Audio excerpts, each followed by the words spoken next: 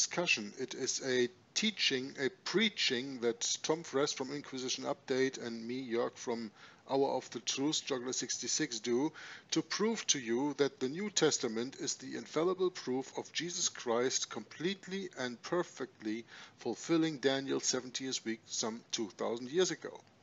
We spoke about that in many different terms. Uh, we came to the understanding and the teaching that the stoning of Stephen was the end time setting of the 70th week. You know, three and a half years Jesus Christ preached in the flesh. He went to the cross. He shed his blood for our sins. He confirmed the covenant with many in the one week, and in the midst of the week he was cut off, but not for himself. He resurrected three days later. He poured out the Spirit on the apostles, and the Spirit filled apostles continued the message that Jesus Christ gave the first three and a half years, the last three and a half years, only to the Jews. Because 70 weeks are determined upon thy people and thy holy city. Speaking of the Jews and the Jews only.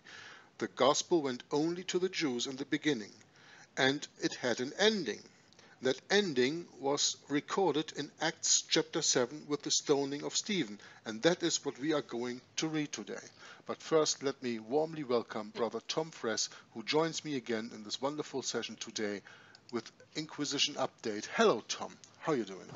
Hello, Jörg. Very happy to be here. I hope my voice holds out, and uh, and happy to be with the listeners too, and uh, to read the precious, infallible recording of of of uh, the book of Acts, chapter seven, where we see uh, that Jesus perfectly and completely fulfilled the 70th and final week of Daniel's prophecy. Therefore, most importantly, Jesus caused the sacrifices and oblations to cease, just as is predicted in Daniel's prophecy, by giving up his own life and becoming the Lamb of God and redeeming us all, putting an end of sin, making reconciliation for iniquity, bringing in everlasting righteousness. There is now no need for animal sacrifices or any other kind of sacrifice. As a matter of fact, he so thoroughly put away sacrifices that we can look out into the world, and if we see anyone, whether Jew or Roman Catholic or Protestant or evangelical making a sacrifice, then they have rejected the sacrifice that Jesus made, that one time all sufficient sacrifice for sin for all men for all time. They have rejected that sacrifice and they are yet in their sins. And their sacrifices, their lambs, their goats, their pigeons, and their doves, will be the testimony against them when Christ returns. Because it is proof positive evidence that they have rejected the Lamb of God and made their own sacrifices. They are yet in their sins. They have compounded sin upon sin and they will reap the wrath of Almighty God when He returns. The 70th week of Daniel is fulfilled completely and perfectly by the Lamb of God. Anyone who suggests a future 70th week of Daniel has likewise rejected the Lamb of God and has now put their full faith and trust in a false Christ that will be revealed at the end of the, uh, near the end of the 70th and final week of this phony refulfillment of Daniel's prophecy. And what is the most horrendous horror of all is that every one of our Protestant and evangelical priesters have been teaching this lie in this country for the last 250 years. And it isn't until now that the men of God of this country have come to realize that it's a diabolical lie to cause all of God's people to reject the Lamb of God, to, to worship him out of one side of their mouth and deny him out the other. Satan, by futurism, the idea that the 70th week of Daniel is yet future, has made a laughing stock of the Protestant evangelical churches who, prior to the beginning of the teaching of this phony futurist doctrine, believed the historicist interpretation of the prophecies and that it was the papacy that caused this that that that was the the papacy was the man of sin the son of perdition. Not a phony antichrist at the end of the time but an antichrist that would rule and reign over the kings of the earth and persecute the saints of Almighty God, wear out the saints of Almighty God, torment, butcher, in, inquest, crusades, and be persecuted and slain by the man of sin in Rome. We've been duped. We've been made fools of, and now it's time to repent of our ignorance and our stupidity and to repent of believing liars from the pulpits of our churches and restore the historicist understanding of Daniel's prophecy and true biblical Christianity. And when we do, the man of sin in Rome will quake in his boots. That's the only way to defeat the man of sin in Rome. Now, Acts chapter 7, more proof from the New Testament that Jesus is the fulfillment of the 70th week of Daniel. Back to you, Jörg. Yeah, thank you very much, Tom, for your introduction here. Always very much needed that you put your thoughts in the beginning of our broadcasts and repeat here and there a little bit what it has been all about in the past and also to say what it is all about in the readings that we are going to do now. So I put today in a PDF because that's easier for me to read because of the bigger letters. In the PDF I put the Acts chapter 7 uh, from the authorized version of the 1611 King James Version. So you will see that here and there there's kind of a quote-unquote old English that you're maybe not that much used to. And I just want to ask in the beginning already, before I even start reading, your forgiveness if here and there I maybe butcher a word. I am not an English native speaker. I am not that much used to these old English, especially not reading it out loud, because when I read the Bible, I read it quietly for myself most of the time. But anyway, it's about the message that will be taught to you, and that is very important. It says here, Daniel's 70th week, the countdown to the Messiah. Yeah? 70 weeks are determined upon thy people and upon thy holy city. It was a countdown. The people were supposed to know the coming of Jesus Christ. Quite different from our times today because Jesus Christ said not even uh, he knows or the angels know and no man knows the time of his second coming. But everybody was supposed to know the first coming of Christ. And Daniel's prophecy in chapter 9 is to the day possible by leading by, by, by being led by the Holy Spirit to understand when he comes. Now we are speaking about Acts chapter 7. And this is Stephen. This is one of the helpers of the apostles, I call him, because he wasn't a, an apostle, but he was chosen later to be part of the apostles to bring the word of God to the Jews. And he went down to Samaria and he spoke to the Sanhedrin. And this is recorded in Acts chapter 7. This is exactly what we are going to read. And here next you have a picture that I looked up on the internet that is a little bit reflecting on what happened at that moment. I'm going to read the whole chapter to begin with, and afterwards we will read it again and then discuss several verses of this. Jörg, may I interject a brief thought? Oh, sure, Tom. That's Oh, where you're to- here for.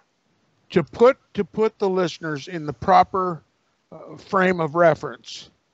Remember, Daniel's prophecy was was unto the Jews only, and and and it was it was for Daniel's people, the Jews, and Jerusalem. And at the end of that 490th year, the end of the 70th and final week of Daniel's prophecy, God instituted that there be one last hearing of the gospel before the Jews and Jerusalem. And it was given to Stephen to give the Jews and Jerusalem that last final hearing of the gospel. And after that, the end of that 70th week, after the end of this last final hearing by Stephen, after having rejected the testimony of Stephen, the last final hearing of the Jews and Jerusalem, the gospel would go to the Gentiles. You know, previously it was always said by Jesus, Go not unto the way of the Gentiles. Why? Because the 70th week of Daniel was not yet over. Okay? That had to be offered first to the Jews. They had the option of receiving Jesus as their lamb.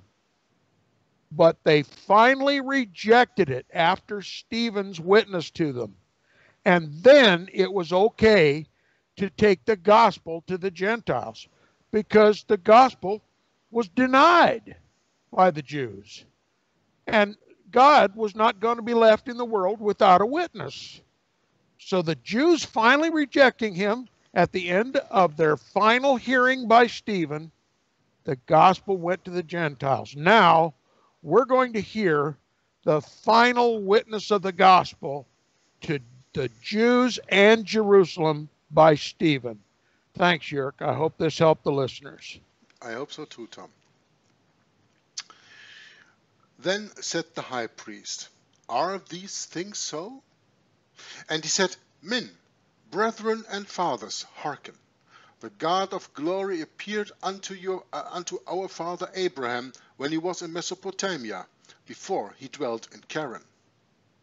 And he said unto him, Get thee out of thy country and from thy kindred, and come into the land which I shall show thee. Then came he out of the land of the Chaldeans and dwelt in Charran. And from thence, when his father was dead, he removed him into, his la- into this land wherein ye now dwell. And he gave him none inheritance in it, no, not so much as to set his foot on.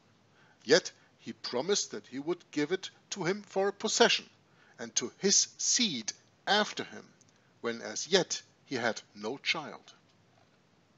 And God spake on this wise, that this that his seed should sojourn in a strange land, and that they should bring them into bondage and entreat them evil before hundred, uh, 400 years. And the nation to whom they shall be in bondage will I judge, said God. And after that shall they come forth and serve me in this place. And he gave him the covenant of circumcision.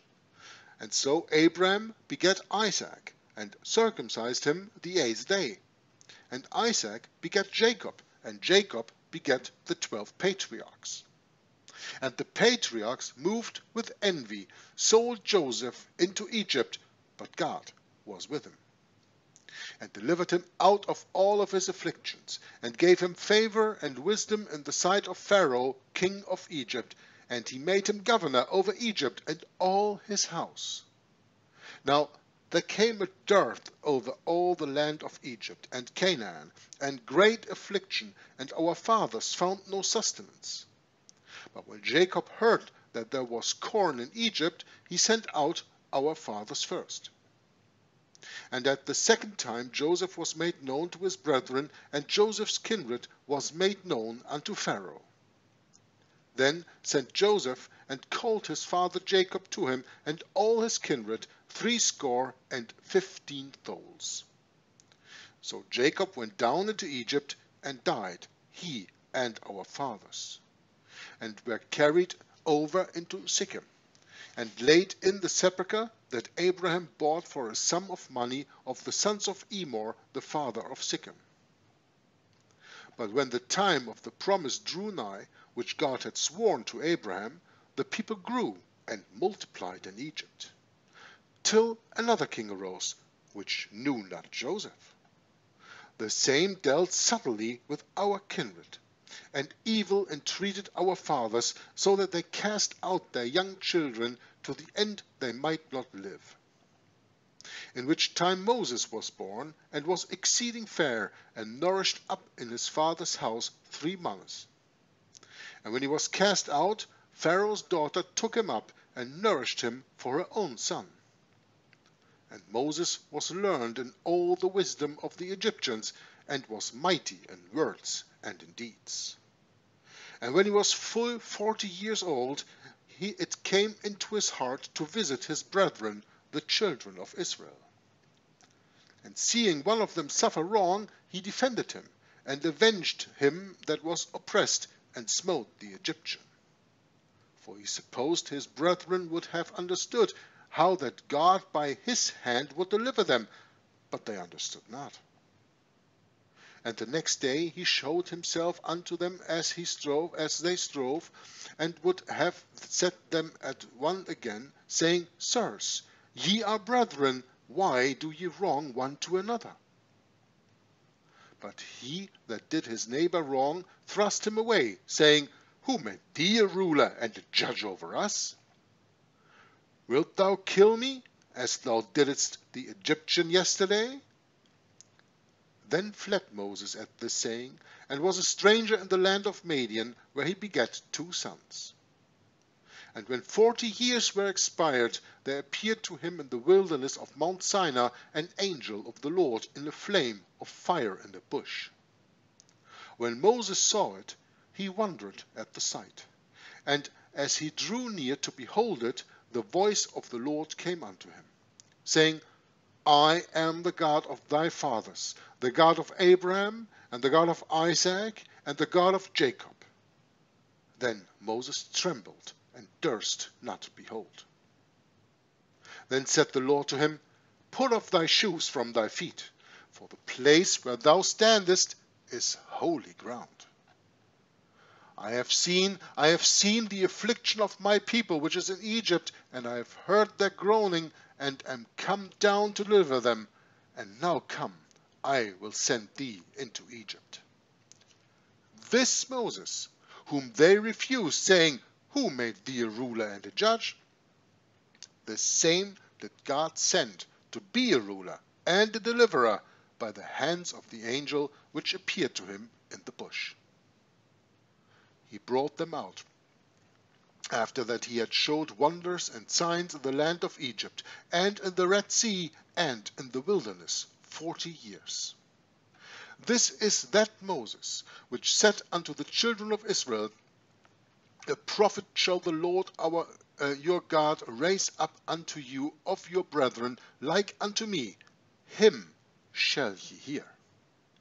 This is he that was in the church in the wilderness with the angel which spake to him in the Mount Sinai, and with our fathers, who received the lively oracles to give unto us, to whom our fathers would not obey, but thrust him from them, and in their hearts turned back again into Egypt. Saying unto Aaron, Make us gods to go before us. For as for this Moses, which brought us out of the land of Egypt, we wot not what is become of him. And they made a calf in those days, and offered sacrifice unto the idol, and rejoiced in the works of their own hands. Then God turned and gave them up to worship the host of heaven, and it is written in the book of the prophets, O ye house of Israel, have ye offered to me slain beasts and sacrifices by the space of forty years in the wilderness?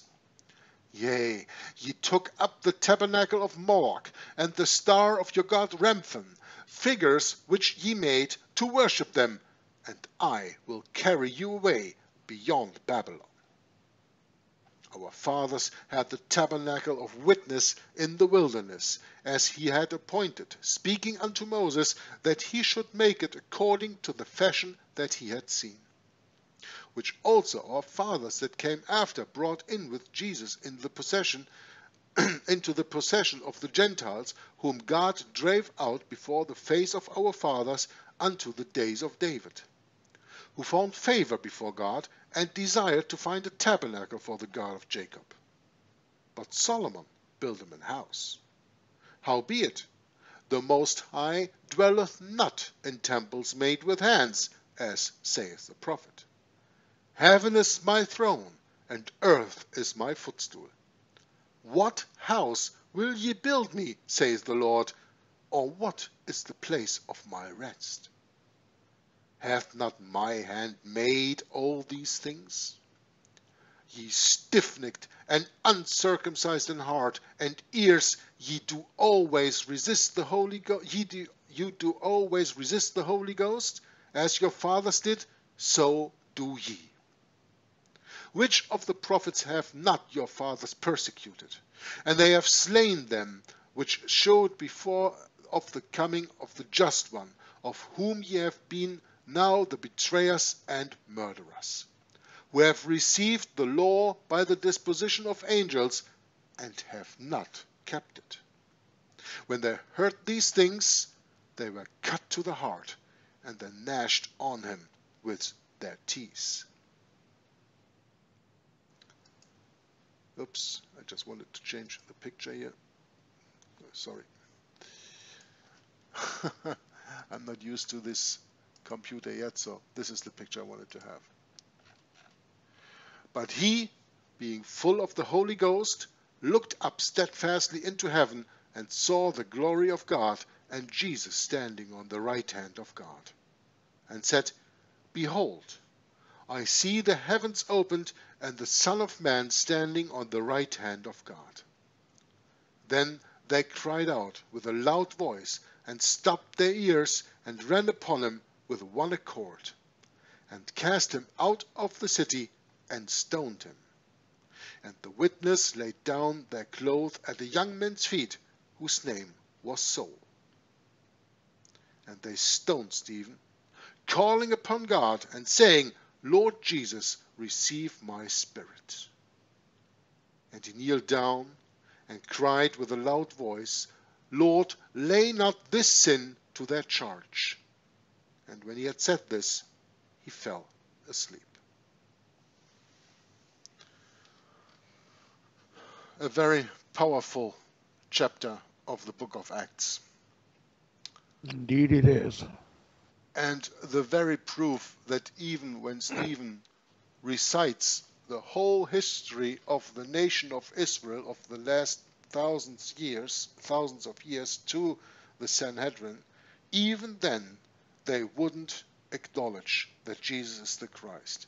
Or maybe we can see it the other way around. When they saw that Jesus is the Christ and that they had crucified him, they stoned Stephen for giving them the message. I mean, They killed the messenger. they killed the messenger, yeah. Because They, you know, they stoned they stoned Stephen to shut him up because they were completely convicted and completely convinced that they had slain their own Messiah.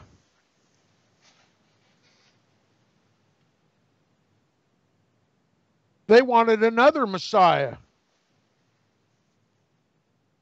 The Messiah that God sent them wasn't the kind of Messiah that they wanted and yet they could not deny that he was their Messiah. Stephen was very convincing. Absolutely. He, he recited to them better than anyone on the Sanhedrin could the whole history of the Hebrew people. And he included Jesus as one of the prophets who the Israelites always stoned and always killed. And he finally convinced them. I'm uh, Stephen finally convinced the Sanhedrin that Jesus was the prophet of God and the Messiah of God, whom they wickedly slew. And that they were found by Stephen and by the whole host of heaven to be just as guilty of all as all of those before them who did likewise and slew the prophets of Almighty God. They found themselves all of a sudden the object of God's wrath. And rather than confessing their sins and getting on their knees on the steps of the Sanhedrin and begging God's forgiveness for having slain their own their own prophet, priest, and king and Messiah, they stoned Stephen. They committed themselves to rejecting Jesus, not repenting and receiving him after the fact. They steadfastly, stiff neckedly denied the Christ that bought them.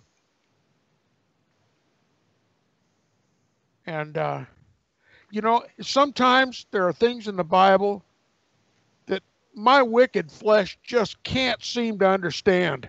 And I confess my weakness to the listeners. In spite of what they were going to do to Stephen, Stephen prayed to the Father that their sin that they were about to commit to kill him by stoning not be held against them. Incredible grace. Incredible grace. I'm not that perfect. But I give credit to Stephen for being as perfect as Christ was when he said, Forgive them, Father, for they know not what they do. And that was the last, the final, the once and for all witness to the Jews and to Jerusalem of the gospel that began to be preached when Jesus was anointed in the River Jordan at the very beginning of the 70th and final week of Daniel by John the Baptist. There were three witnesses a voice from heaven, a dove that descended upon him, and it was the very the very beginning of Messiah's ministry. If you had a stopwatch, you could click the start button. And seven years forward, seven full actual years forward, the final and 70th week of Daniel's prophecy was ended The stop button was pushed when they killed Stephen. And then and only then was the gospel to go to the Gentiles. As, as Jörg so brilliantly pointed out about a month ago or so. How do you know that the 70th week of Daniel is over? There's one positive, in, irrefutable fact visible in the earth that the 70th week of Daniel is over. No one can gainsay it, no one can deny it. All they can do is accept it. The 70th week of Daniel ended when the gospel went to the Gentiles. The Jews no longer carried the, gen, the, the, the gospel to the world. The Jews were no longer the witness of Christ to the world, the witness of the God of heaven to the world. It was now the Gentiles. And that's where it remains today. Do the Gentiles now preach the gospel to the Christ denying Jews, to the gospel denying Jews? If the Gentiles don't do it, it won't be done. There's no other witness in the world of the God of creation, the God of Abraham, Isaac, and Jacob, but the Gentile Christians who greedily accepted Jesus when the Jews denied him at the last final testimony by Stephen. You've got all these cockamamie false teachers all over this world in every Protestant and evangelical church, anywhere you can name. They preach a future fulfillment of the 70th week of Daniel. They don't have a clue and they're no help to you. They are a stumbling block to you and single handedly they have destroyed the Protestant Reformation. They have destroyed the truth. And they'll have you bowing down and worshiping a false Messiah. That's the whole purpose of the futurist interpretation of Daniel's 70th week. If you believe in a future fulfillment, you have to deny the historical fulfillment which Jesus fulfilled as recorded perfectly and completely in the New Testament. And you are off to fantasy land where nothing is certain. Only you have uh, uh, uh, uh speculation. That's the best you can say of futurism. You have nothing in which to believe but speculation. And that's why there's so much controversy and division and disagreement among all the prophecy teachers in this world. There's nothing certain. It's the blind leading the leading the blind. And they've led us all astray. And if it weren't for the mercy of Almighty God, we'd still be blind today. Why would you allow a futurist pastor to remain the leader of your Protestant and evangelical church? You have a responsibility to the one who died for you to put a true man of God behind the pulpit of your church.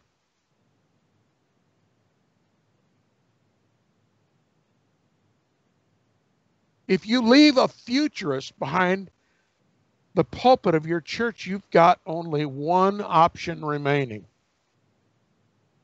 And that is to kick the dust off your feet and leave that church and never set foot in it again. It's witchcraft what they're preaching from the churches today. You know what the Bible says about a witch? We are not to suffer a witch to live.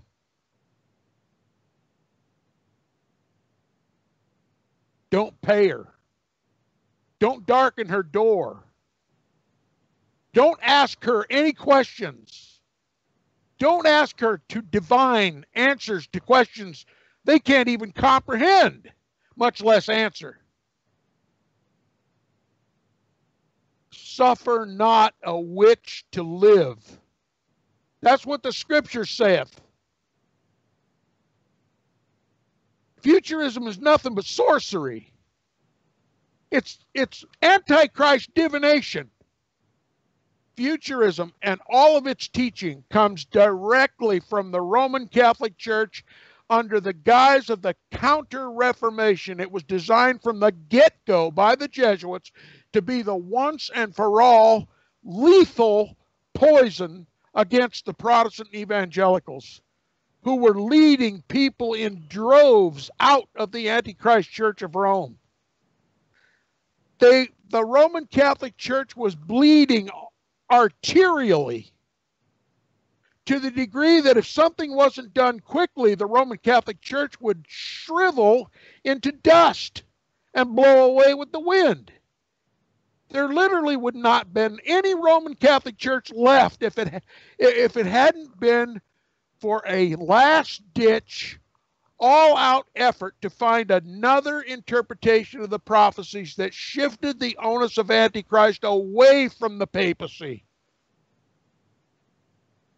And they came up with two alternative teachings, two alternative schools of Bible prophecy interpretation, one called preterism, the other called futurism.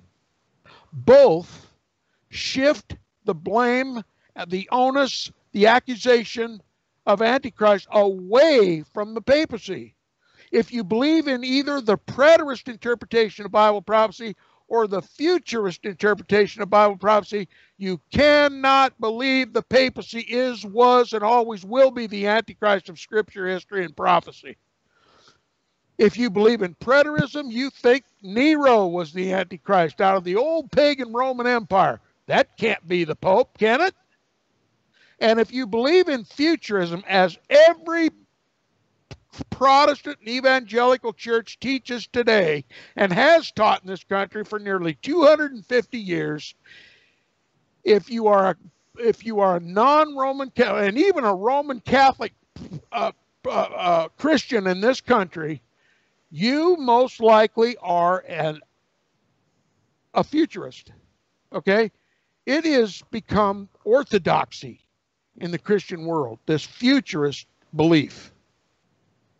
And if you oppose it, you're going to be resisted by everyone who calls himself a Christian. You're going to be called a heretic, a lunatic, a conspiracy theorist wacko. You're going to be called every name in the book. But sticks and stones don't break my bones. May I insert something here, Tom? Sure.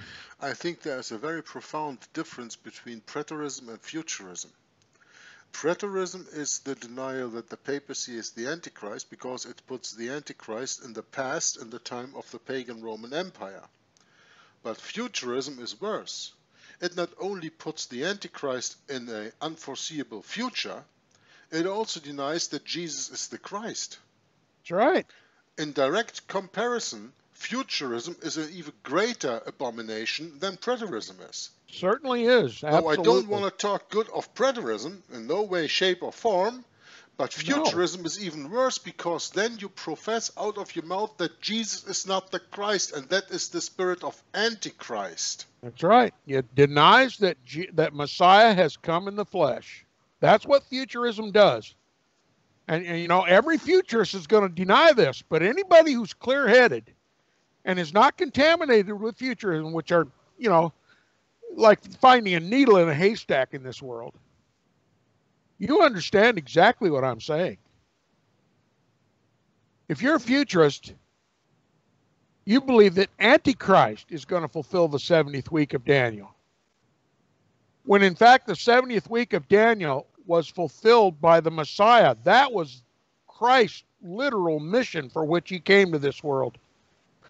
The 70th week of Daniel is the act of our redemption. It is proof positive that Jesus was the Christ.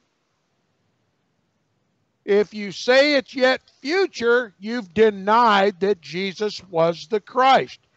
You've denied that Messiah has come in the flesh, and that is the spirit of Antichrist as written in the in the New Testament.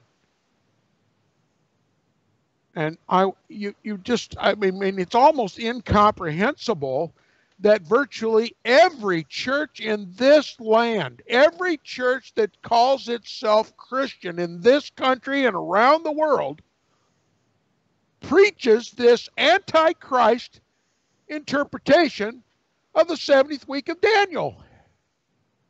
Everybody's looking for a future fulfillment and denying the historical one.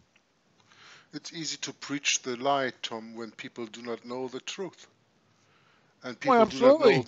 people do not know the truth because they don't study the Bible for themselves anymore. When you compare the truth with a lie, the first thing that you are impressed with is that the truth is far easier to believe and makes far more sense. And when you hear it in comparison to the lie, you all of a sudden realize just how childish and ridiculous and impossible the lie is. Okay?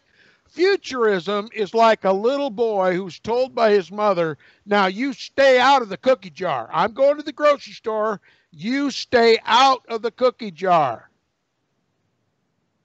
Mom goes and does her, her, her, her shopping, comes back with the groceries, and asks her son, Did you stay out of the cookie jar like I told you? The little boy shakes his head up and down, and says, Yes, with chocolate chips all over his face. Mother asks him again, Did you do like I told you and stay out of the cookie jar? The little kid insists, Mommy, I didn't touch the cookie jar with chocolate chips all over his face. That's futurism. Okay, it's for childs, it's for children. It's a lying doctrine. It's immediately recognized as a lie. It makes no sense, no common sense, no spiritual sense, no prophetic sense. It's a lie. It's a lie. It's a lie. And everyone who calls himself a pastor and a priester and a prophecy student believes the same lie. You can't find a historicist anywhere in this country anymore. They've never heard the term. I'm trying to impress upon the listeners that the churches are no refuge for you anymore. That they ought to be abandoned. You'll find more truth in the authorized King James Bible right in your living room with your friends and your family and the Holy Ghost in the middle than you'll ever find in any church. Even those that say they are spirit filled churches that do miracles and prophesy. If they're full of the Holy Ghost, let me ask you this all these charismatic and miracle working churches, let me ask you this if you're so full of the Holy Ghost, why isn't this Holy Ghost that you worship and obey ever told you the papacy is, was, and always will be the Antichrist? Why has not your Holy Spirit told you this? You who think you speak in some heavenly language, the language of angels, why have not the angels told you through your your gibberish that the papacy is, was, and always will be the Antichrist? Are you really full of the Holy Ghost or are you full of something else?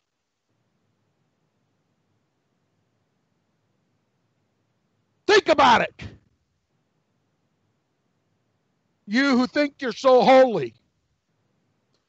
You who say you possess the Holy Spirit because you have this ability to speak in this unintelligible gibberish. And as long as you can speak in this so called angelic language, you can sin till the cows come home. And as long as you still have that gift, God has sanctioned your sin. That's why when you go to the television, you go to these televangelists that are knocking people over and waving their hands and barking like dogs and all this ridiculous antics. You ask yourself, why are they never convicted of their sin? Why don't they ever repent of this ridiculousness? This this profane, holier than thou, miracle working baloney why do they never repent? Why? Because they still speak in tongues. They think they've got God's sanction for all of their nonsense. And so they keep escalating the nonsense to the point where not even the charismatics can believe it anymore. It's a lie. You've been lied to. The Holy Spirit of Almighty God will never tell you anything contrary to the written Word of God. Here's another secret the Holy Ghost of Almighty God will neither add to the Scriptures nor take anything away from the Scriptures.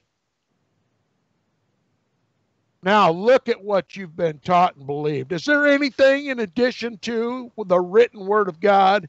Is there anything taken away from the written word of God by this so called Holy Spirit that rules over you and your church?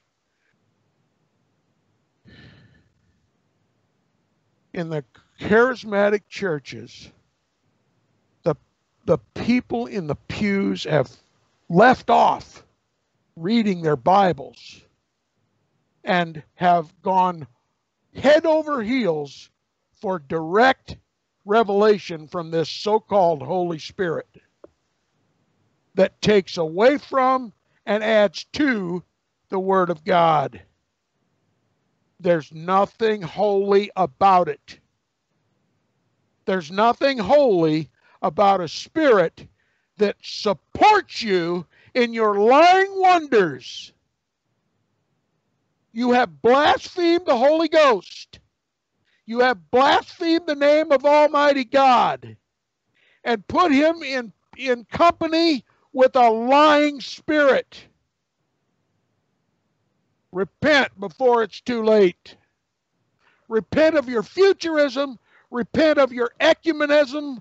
Repent of your phony spiritualism and return to the historicist interpretation of Bible prophecy and the written word of Almighty God, the authorized King James Version 1611. You say you don't like the tone of my voice or the conviction in my spirit? Then stone me like they did all the prophets in the past. Back to you, Jörg. Yeah, thanks, Tom. I'm just adding here a few pictures of this charismatic movement, like here with Benny Hinn. That all people, all of a sudden, when they are indwelled with the Holy Spirit, they fall bare on the ground, whether they fall on their back or they fall on their face, whatever. It's just one big scam. Yeah, it really is one big scam. I don't know how people can fall for that.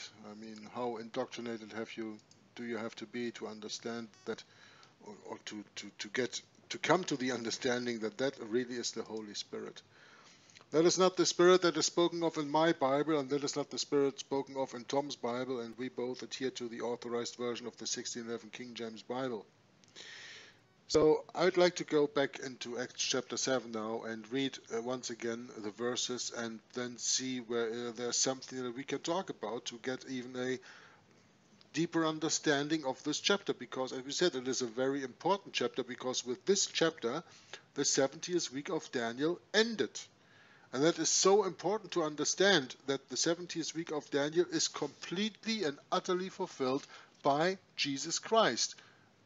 In a part in his flesh until he went to the cross in the midst of the week and in another part in the spirit. And as Tom said proof that the 70th week of Daniel is fulfilled is that the gospel is with the Gentiles. Otherwise, there would not be Gentiles preaching Jesus today because they wouldn't know of Jesus. They didn't know of Jesus the first 4,000 years of this earth until Jesus came, which was about 4,000 years age of the, uh, of, of the earth. Anyway, let's go into this and I will keep this picture up here now that you really know that we are reading now of the fulfillment of the 70th week of Daniel, of the finishing of the 70th week of Daniel prophecy. 490 years, 7 times 70, or 70 times 7. Then said the high priest, Are these things so? And he, speaking of Stephen, said, Men, brethren, and fathers, hearken. The God of glory appeared unto our father Abraham when he was in Mesopotamia before he dwelt in Charran, and said unto him, Get thee out of thy country and from thy kindred, and come into the land which I shall show thee. Here Stephen is talking about the faith that Abraham had. Because Abraham only left his country where he was born in because of faith. Then came he out of the land of the Chaldeans and dwelt in Charran. And from thence, when his father was dead, he removed him into this land wherein ye now dwell. So you get a history of the country where they are dwelling in even today. And he gave him none inheritance in it. No, not so much as to set his foot on. Yet he promised that he would give it to him for possession and to his seed after him, and as yet he had no child. This word seed appears oftentimes in the Bible, and it is very important that we understand that it is only speaking of one seed. It is not speaking of seeds, it speaks of seed. This seed is always uh, an interpretation of Jesus Christ. It starts already in Genesis chapter 3 verse 15. When God says, I will put enmity between your seed and her seed, and he will crush your head and you will bruise his heel. Seed always speaks of Jesus Christ and to his seed after him. The seed that comes out of this is the seed of Jesus Christ. It speaks of him, of Jesus Christ, the seed. It doesn't speak of the whole nation of Judah or the whole nation of Israel. It speaks of Jesus Christ here. And God spake on this wise, that his seed should sojourn in a strange land, and that they should bring them into bondage, and entreat them evil four hundred years. And the nation to whom they shall be in bondage will I judge, said God, and after that shall they come forth and serve me in this place. And he gave him the covenant of circumcision. And so Abraham begat Isaac, and circumcised him the eighth day. And Isaac begat Jacob, and Jacob begat the twelve patriarchs. So Stephen here gives a full history of how Israel, the nation state of Israel, at the first place came into existence by the seed that was given, that was coming through Abraham. And that seed eventually would become Jesus Christ. And the patriarchs moved with envy, sold Joseph into Egypt, but God was with him, and delivered him out of all his afflictions, and gave him favor and wisdom in the sight of Pharaoh, king of Egypt, and he made him governor over Egypt and all his house. Now, I personally think, Tom, and I would like to know your thoughts on this, that in this case Joseph is a antitype, or, or, or I don't know if antitype is the right word, but a, a predecessor of Daniel. Because Joseph was made a man of power in Egypt, as Daniel was made a power made, made a man of power in Babylon, in the Babylonian captivity. Isn't that something that uh, gives a resemblance on Tom? well, certainly that is something that Joseph and Daniel had in common. And uh, those who uh, have found favor with the Lord, the Lord has favored. God And was with uh, him, huh? absolutely. God and, gave uh, him the understanding of uh, interpreting the dream that Nebuchadnezzar had in chapter 2, gave him the That's right. vision in chapter 7 of the four beasts that would rule this earth Yep. Babylon, Medo Persia, Greece, and finally Rome. When Jesus came, he said, These are the last days because it was Rome already ruling the final empire. I, I, I see a very big resemblance here between Joseph Well, in Egypt and Daniel in Babylon. That's right. And Joseph, likewise, when he was in Egypt, was uh, embraced by the Pharaoh, the king of Egypt, and made to be his second in command. And Joseph also had a dream, and he predicted seven years of, of plenty, an overwhelming harvest for seven years. And then after that, seven years of starvation. So, because of the dream, the prophetic dream of Joseph, Pharaoh gave him charge over the matter. And Joseph, in those seven years, bought grain, all he could buy, and he stored it, and he kept it in reserve for the feast, uh, for the for the days of famine. And when the famine came, there was plenty, and Joseph sold the grain and multiplied the riches of Pharaoh, and everybody had grain to eat, including his own family who had betrayed him. Joseph's family. And uh, all things work together for good them, to them that love the Lord, and those who God has called according to his purpose. And certainly Joseph and Daniel were both called according to God's purpose. And that's why there's so much similarity between them. Yeah, I agree. So continue. Now there came a dearth over all the land of Egypt and Canaan, and great affliction, and our fathers found no sustenance. But when Jacob heard that there was corn in Egypt, he sent out our fathers first. And at the second time Joseph was made known to his brethren, and Joseph's kindred was made known unto Pharaoh.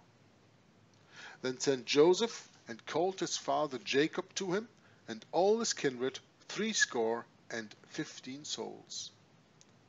So Jacob went down into Egypt and died, he and our fathers, and were carried over into Sychem, and laid in the sepulchre that Abraham bought for a sum of money of the sons of Emmor, the father of Sychem. But when the time of the promise drew nigh, which God had sworn to Abraham, the people grew and multiplied in Egypt.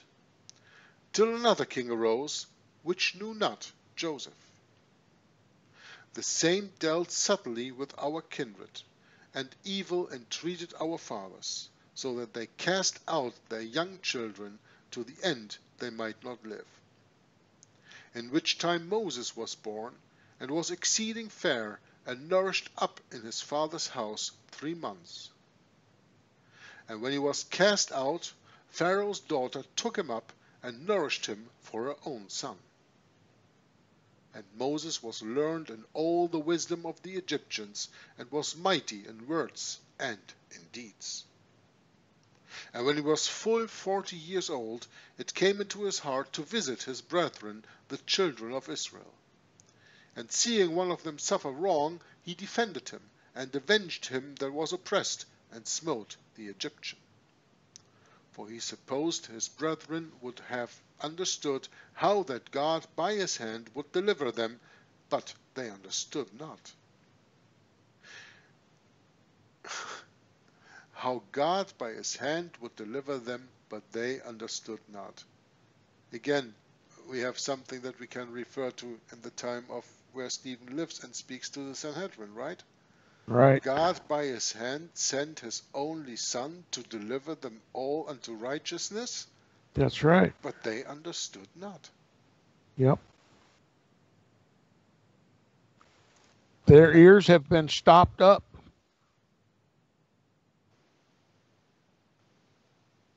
And the next day he showed himself unto them as they strove, and would have set them at one again, saying, Sirs, ye are brethren, why do ye wrong one to another?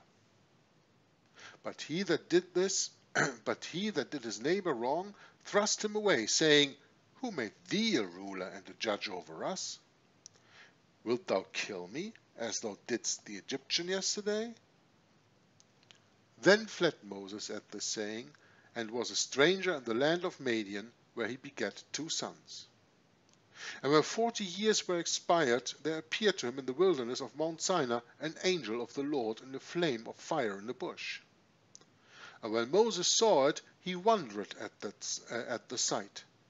And as he drew near to behold it, the voice of the Lord came unto him, saying, I am the God of thy fathers, the God of Abraham, and the God of Isaac, and the God of Jacob.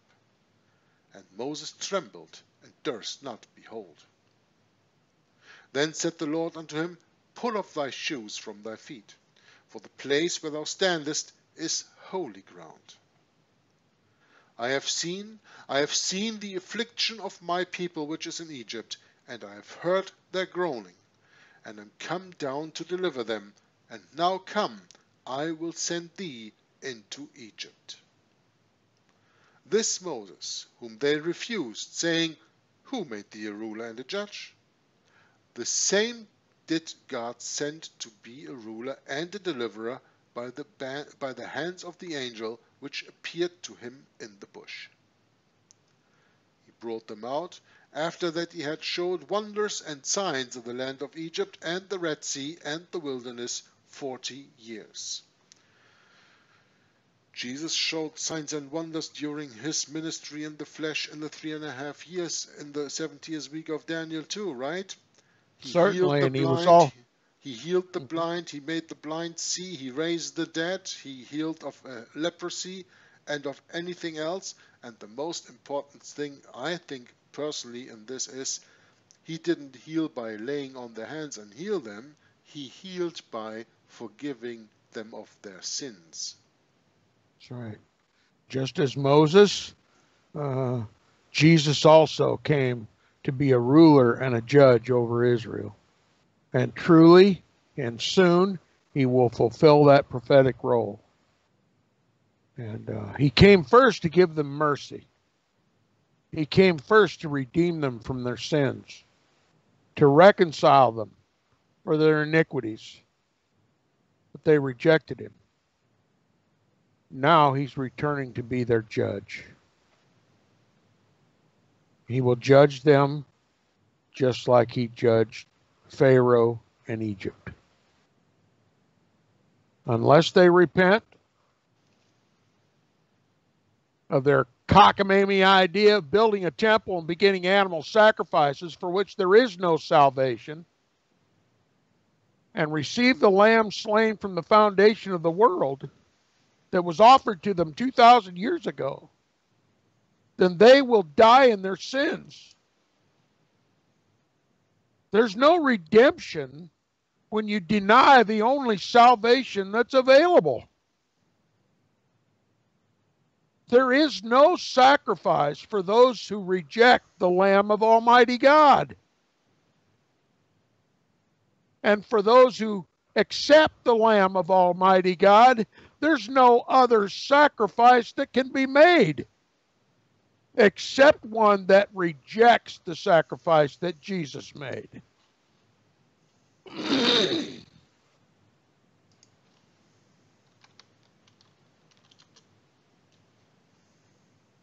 Jesus caused the sacrifices and the oblations to cease. Now, if the 70th week of Daniel is supposed to be in the future, if that were true, all of Christianity would have died in their sins.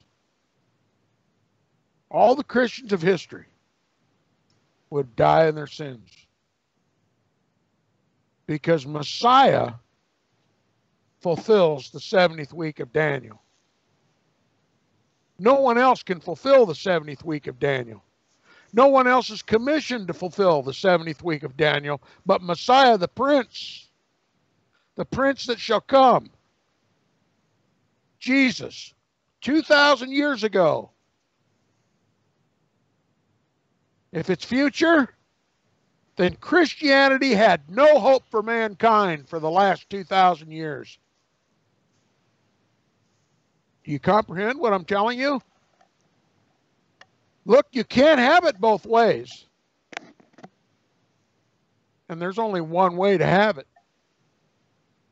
The historicist interpretation of Daniel's prophecy. Historicism is the only correct way to interpret the prophecies of Daniel. If you're tempted to believe even a jot or a tittle of the future interpretation, you've denied the Christ that bought you. You have no redemption and you will die in your sins.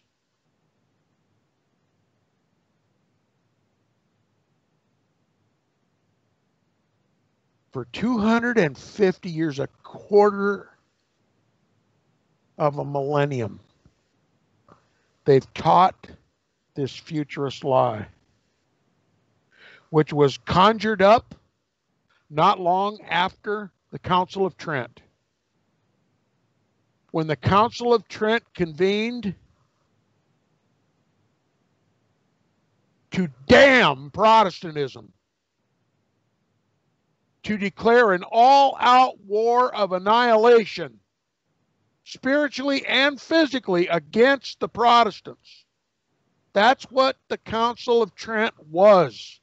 It was an open declaration of an all out war of annihilation, physically and spiritually, against the Protestant re- rebels, as they were known in the Roman Catholic Church.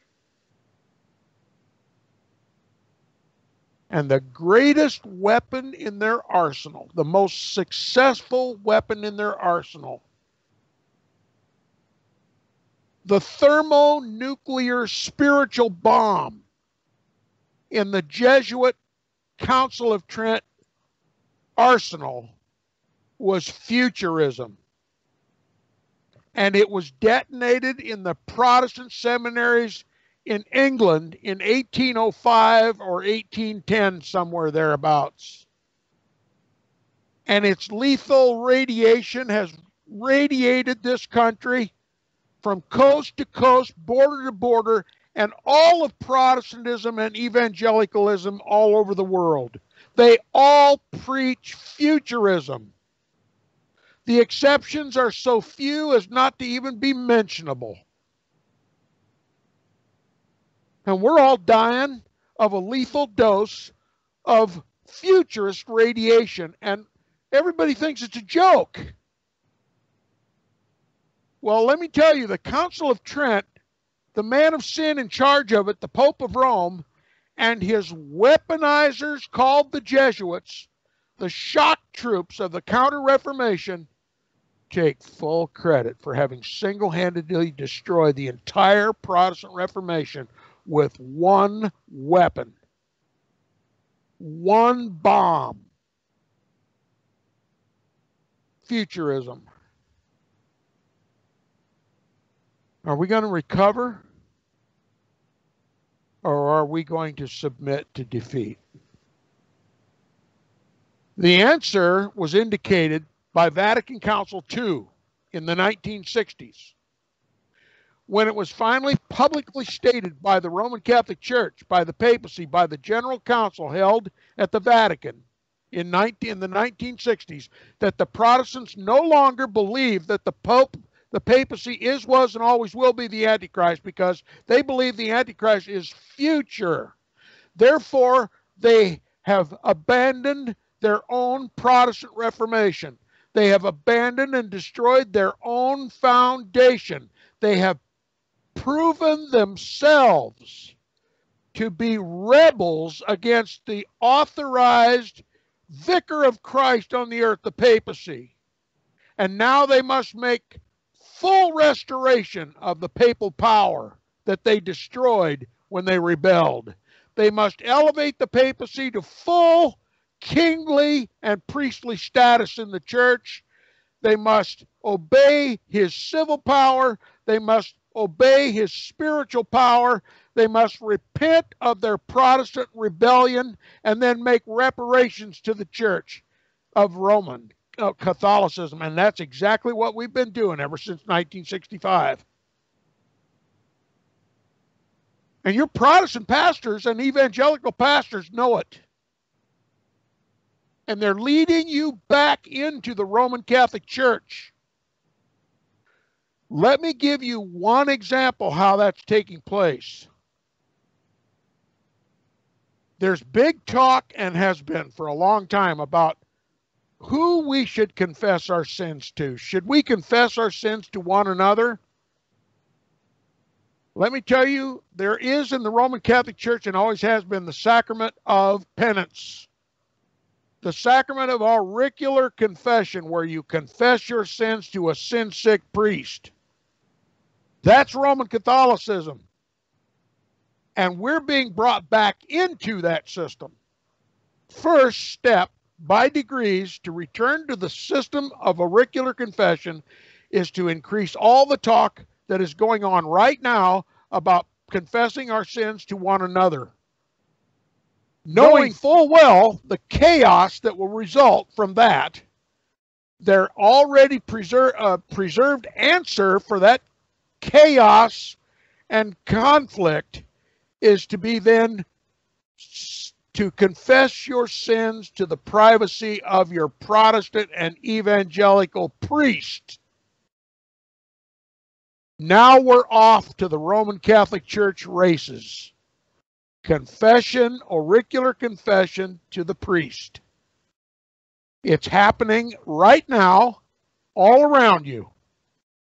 All of this talk about public confession of our sins, confessing our faults and our sins one to another, is going to result ultimately, naturally, and by popular demand, private auricular confession of our sins to a Protestant, an apostate, Roman Catholic in disguise, Protestant and evangelical priester.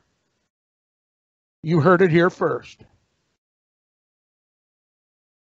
and they're going to return us to all seven sacraments of the Roman Catholic Church, not just auricular confession. Already in the works, we're gradually and ever so slowly being being boiled like a toad to receive the mass of the Roman Catholic Church. Slowly but surely, in, in the Protestant evangelical churches, we're being taught to call the communion table the Eucharist. And slowly but surely, we'll be talking about the literal blood, body, soul, and divinity of Christ now in the wafer and the and and the wine. The literal blood, body, soul, and divinity of Christ, the whole Christ, nothing nothing lacking, to be sacrificed once again on the altar. Now you've made a sacrifice. What does that mean? Class, it means that you've rejected the only sacrifice that can save your sin. The one that Jesus made 2,000 years ago in the midst of the 70th and final week of Daniel. And you have eaten and drunk damnation to yourself in your Protestant and evangelical church. That's where it's heading. It's happening right now before your very eyes. And you heard it here first. Being a believer in the futurist lie, the greatest deception of God's people since the Garden of Eden, has tremendous spiritual consequences. And I've just named you two of them. There are five more to go. You're being boiled like a toad. The temperature is slowly being turned up that you can't even feel the heat.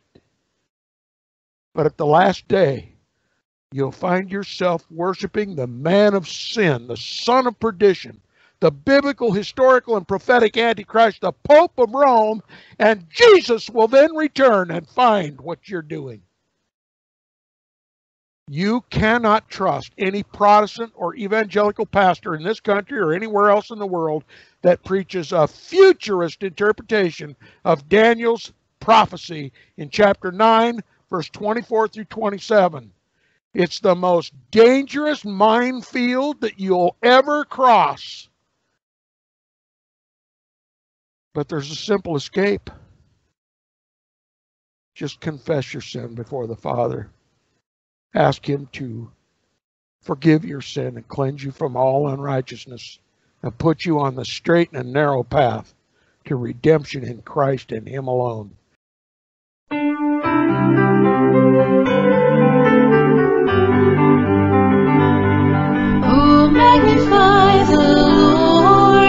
Me, and let us exalt His name together. Oh, magnify the Lord with me, and let us exalt His name together.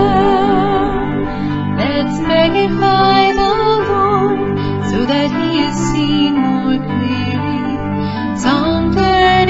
4, verse 3. Let's exalt his name together by living pure and holy. Psalm 34, verse 3. Oh, magnify the Lord with me, and let us exalt his name.